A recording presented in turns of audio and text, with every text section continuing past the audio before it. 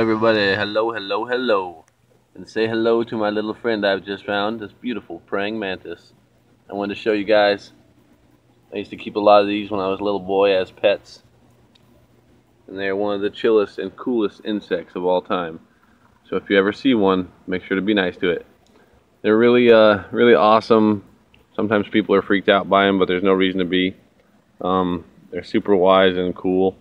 And I like them I wanted to show you guys a little uh, praying mantis. Look at him looking at the camera. He's getting his 15 minutes of fame.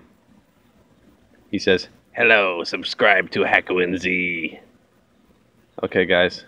So yeah, they have uh, necks. As you see, he can look around. His head isn't like stuck like a lot of other insects. Kind of their head is stuck to their, their body so they can't really turn their head. But he can turn around and has full mobility to look around. Not sure if it's a boy or a girl. I think the girls might be these bigger ones, but either way, they're really beautiful and wanted to show you guys. So, everybody, hello again, everybody. I'm glad you are enjoying Hakuin's channel.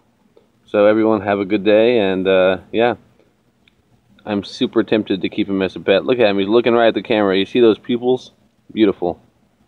Alright guys, Enjoy your day. Be nice to each other and be nice to insects. Talk to you later, guys. Goodbye.